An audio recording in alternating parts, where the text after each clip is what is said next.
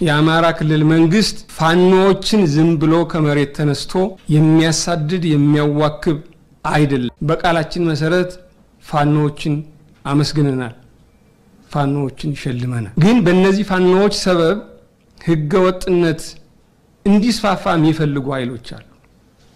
ህገ ወጥን ስንቆጣጠር ፋኖ ነው ይላሉ። ውሸት። ህዝብ እርስ በርሱ እንዲከፋፈል የግድ በጥሩ ስም የአማራ እሴት በሆነው ስም የነፃነትና የክብር በሆነው ስም መጠቀም ይፈልጋሉ፣ መንጠላጠል ይፈልጋሉ። አሁን እያደረጉ ያሉት ይሄን ነው።